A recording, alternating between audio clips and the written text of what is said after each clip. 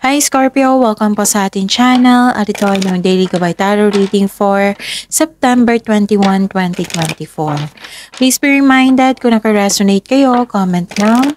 Kung hindi kayo naka-resonate, ibigay niyo po sa iba kasi general reading po ito. This is for you Scorpio ngayong September 21, 2024.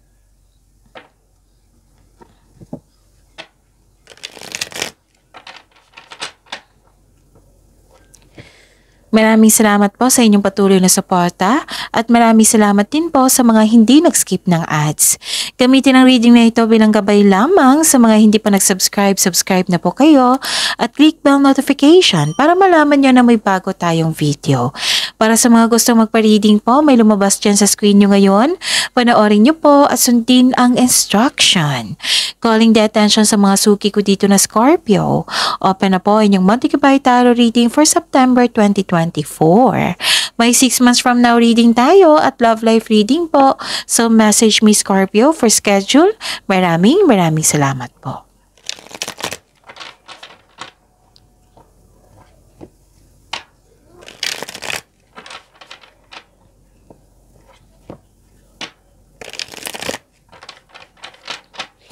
Para po ito sa inyo Scorpio ngayong September 21, 2024.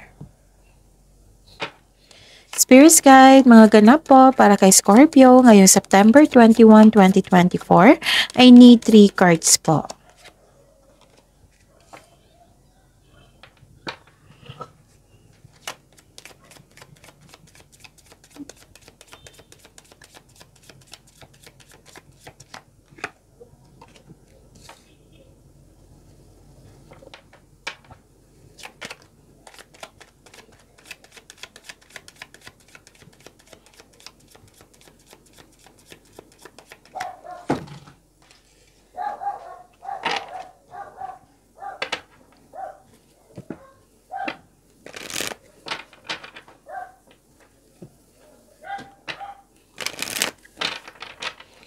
Spirits Guide, message po para kay Scorpio ngayong September 21, 2024. I need two cards po.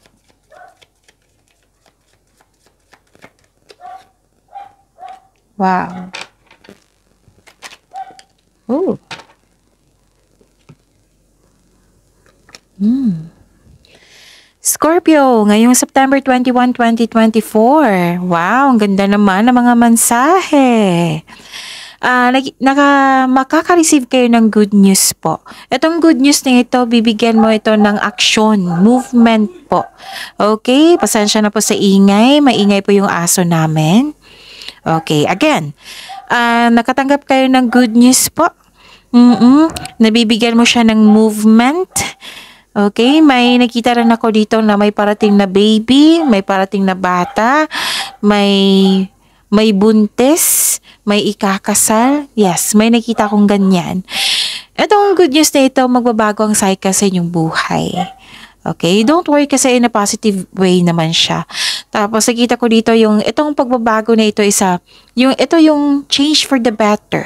Okay? This is change for the better. Pwede din na may ganap na lumipat kayo sa malayong lugar. Okay? Or bibigyan mo na ng aksyon yung matagal mo ng desisyon or plano. Actually, nakita ko dito eh na stability. Mm. Uh, nakita ko dito yung stability sa inyong career.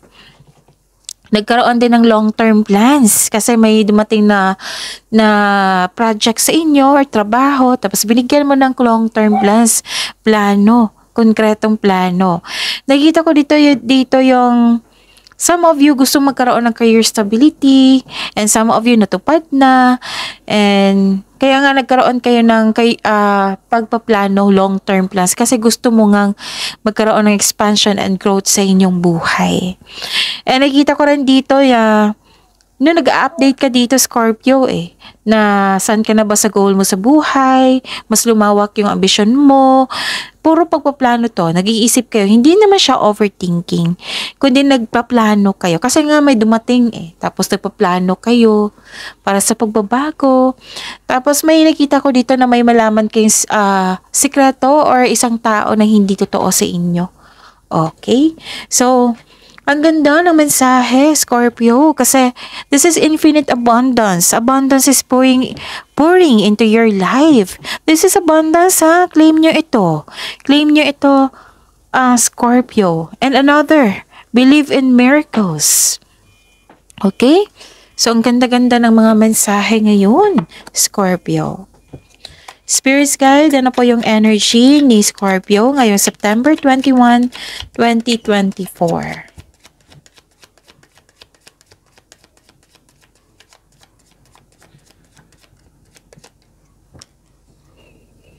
And the clarification of this card po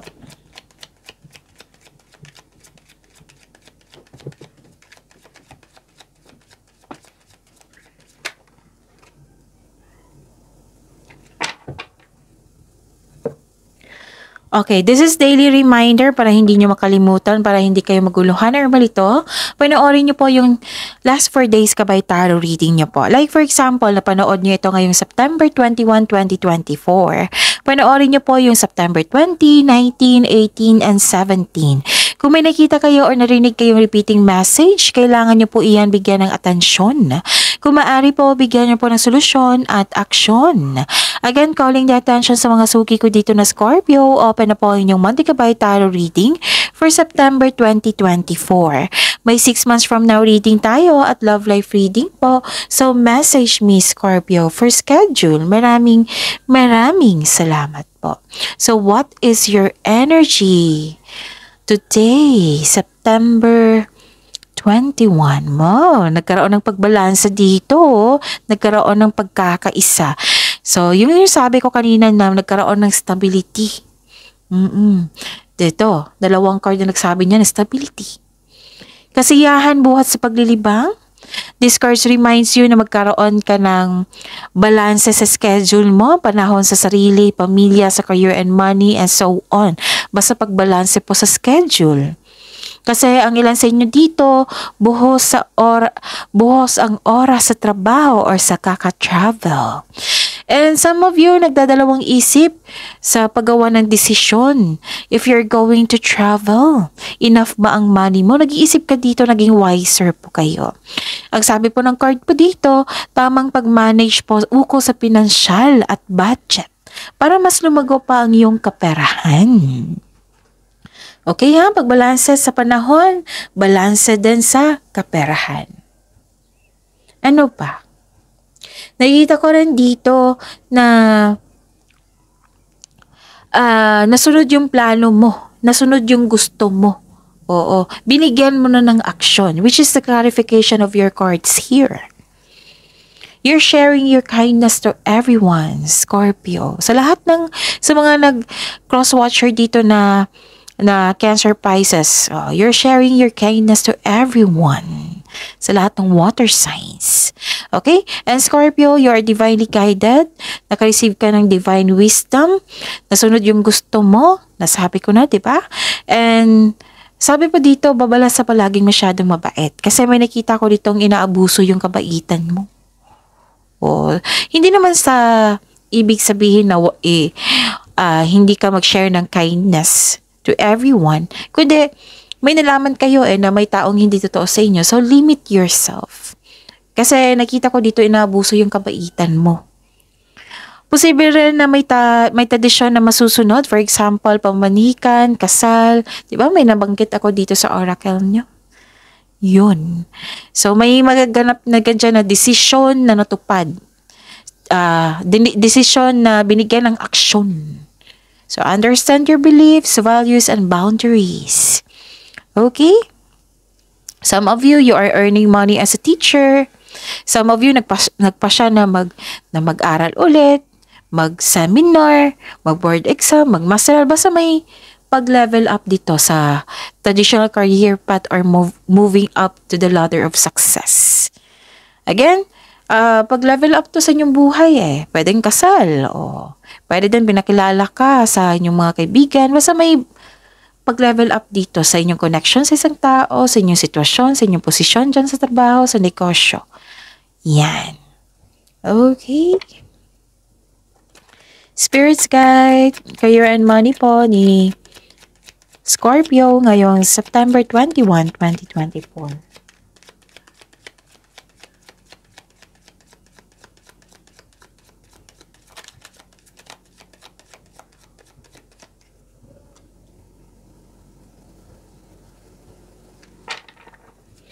And the clarification of this card po.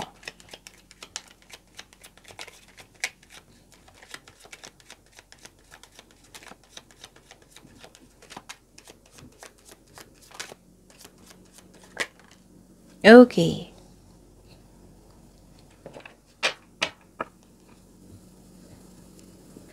This is your career and money, Scorpio. Nagkaroon ng katotohanan. Di ba may nalaman kayong may, ta- may, may taong hindi totoo sa inyo? O, andito rin siya sa career and money mo. Nagkaroon ng pagbalansa. This is very good. Dalawang card na po nagsabi dito, nagkaroon ng pagbalanse. And this is clarity. This is cause and effect. May eternal justice. May pagbalanse. Fairness. And this is partnership also. May nalaman kayong katotohanan. May justisya na parating sa'yo. This card asks you to use your logic and remain objective. Dahil ito ay nakatulong sa na ma-uncover mo ang katotohanan sa isang sitwasyon. May positive outcome po in legal matters. Yes, mananalo ka. Yung legal issues mo regarding sa property, mareresolve na. May signing of contracts din sa ako nakikita dito. So this card advised you to stay, to stay true to yourself and act with integrity. Have faith na po. Have faith na ang imbalance na sitwasyon are now, are now working Oo. Again, have faith in have faith na ang imbalance na sitwasyon are now working out in your favor. So, use your intuition also to set your moral compass.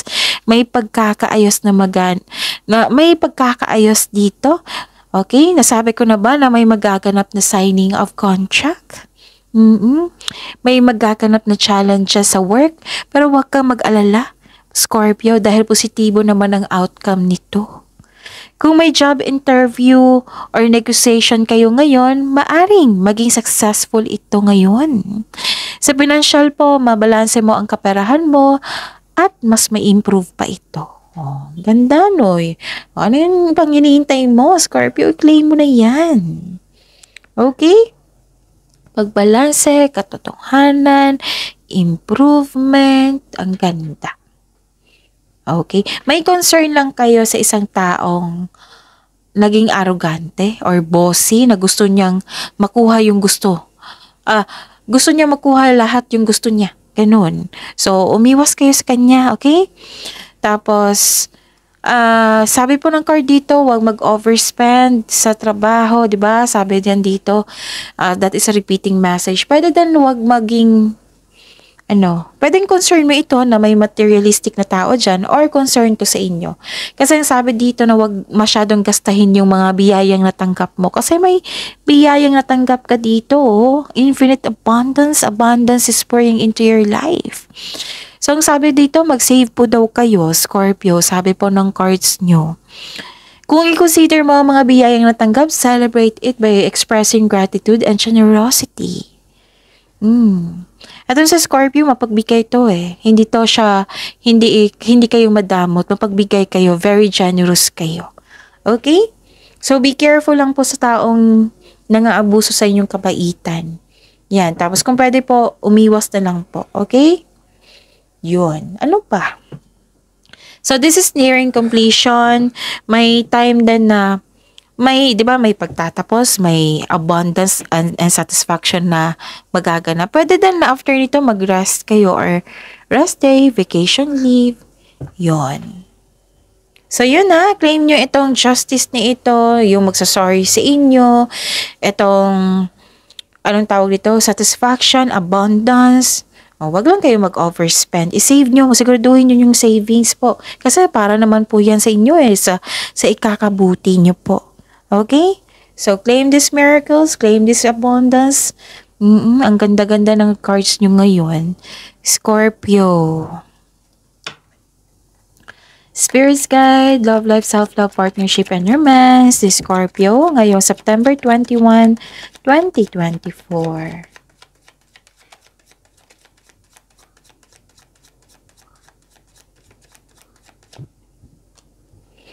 And the clarification of this card po.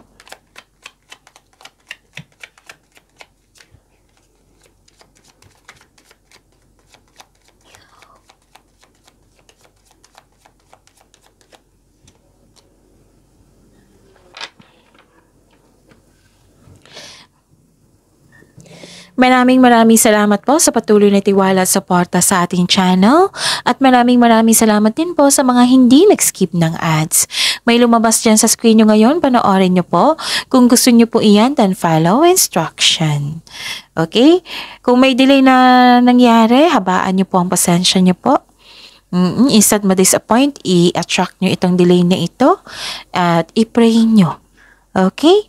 And pwede din na may concern kayo sa isang tao, kahapon pa to eh, or the other day, kung hindi ako nagkakamali, may concern kayo sa disconnection sa isang tao. Okay? So, ipag-pray nyo instead na ma-disappoint kayo sa kanya sa mga pangyayari. Oo, that is the best thing to do. Kasi magkakaroon niya ng healing eh. Hihingi tayo ng divine wisdom, divine uh, divinely guided, oo, na maghihingi tayo ng guide sa universe para magiging okay na. And I'm hoping magiging okay na kayo. Okay? So, wag kayong ma-frustrate, wag kayong ma-disappoint. Kasi itong mga nangyari na ito is ano yan eh, learning journey sa inyong buhay. May matutunan kayo. Hindi lang siya, may matutunan din kayo. So, ang sabi ng card dito, be still flexible and patient is what required at this time. So, yung requirement ngayon, yung magkaroon ng maging handa, maging handa at magbigay ng mahabang pasensya. Okay, ano pa? It might be na mismo siya Scorpio. So, ano, kapit lang tayo sa sinabi ng cards dito na ito ay isang learning journey. May matutunan yung tao, may matutunan ka rin. Para sa pagbalik nyo, pag pag-uusap nyo ulit, magiging okay na lahat. Okay? So, dito tayo, aim tayo sa positivity. Okay? Well, wag na kayong ma-disappoint, wag kayong mag-attract ng negativity. Kasi kung, kung i-attract mo yan na hindi mo na malayan, lalaki yan eh. Oo, lalaki yun. Madi-disappoint ka talaga. Ganun. So, dito tayo sa positivity. Itong pag-asa na ito. Okay? So, yun. Kasi may ang lumabas yung ugali niya eh. Matigas ang ulo, ayaw makinig. At very obsessive. Nawalan kayo ng gana sa kanya. Nagkaroon ng delay sa pag-uusap. Mm-mm uh, gusto mo siyang kausapin pero nagkaroon ka ng hesitation. So let the the the time heal. Oh. So kailangan yun yung sabi ko kanina sa inyo na kailangan po ng pag uh, pag pagtanggap sa mga nangyari. Embrace nyo and and let go and move forward para magkaroon ng healing. Oh, believe in miracles. Mm. Hmm, walang imposible sa ating Panginoon, di ba? So, believe in miracles. Hmm. Kasi concern mo eh, parang na-miss mo siya or na-bothered ka kasi nagkaroon kayo ng disconnection. Hmm. Uh, walang problema sa inyo, Scorpio. May problema sa kanya. Siguro, nagkaroon ng apart nagkaroon ng space kasi gusto ng ni God, ng universe na may matutunan yung taong yun habang hiwalay kayo. Oo, para sa pagbalik, may matutunan na siya na mapahalagan, palahaga, pahalagahan niya yung connection nyo. Hindi naman ibig sabihin na kayo lang parating nagbibigay ng, ng kindness or pagkakaroon ng pag, uh, pag-intindi, pagkumbaba. Diba? So, believe in miracles, i-pray nyo yan magiging okay din ang lahat, uh, Scorpio. Maniwala po. So again, yung uh, yung adjustment nyo dito, yung taong hindi totoo sa inyo, nagkaroon kayo ng disconnection, pwedeng na-miss mo siya, or nagkaroon lang kayo ng space, or hindi, na kayo, nag, hindi kayo nag-uusap dyan. So, instead na maging disappoint kayo or magkaroon kayo ng hesitation, ipag-pray nyo. That is the most powerful thing to do. Prayer. Kasama naman yan, kasama dyan ang healing. Kasama dyan ang pag-asa. Andyan po lahat. Mm-mm. Isuko natin kay God lahat yung worries natin at magpatuloy. Okay? at mag-move forward, magpatuloy po. Yung panahon sa pamilya ha, panahon sa sarili po. Oo, and i-claim nyo yung abundance na binibigay sa inyo dito, itong justice na ito, itong panahon sa inyong sarili, itong miracles na magkaganap. Yes. So, attract positive positivity, positive affirmation na kailangan. Okay, so see you tomorrow, Scorpio. Please like, subscribe, and click bell button for notification para updated po kayo sa daily tarot reading natin. Maraming maraming salamat po.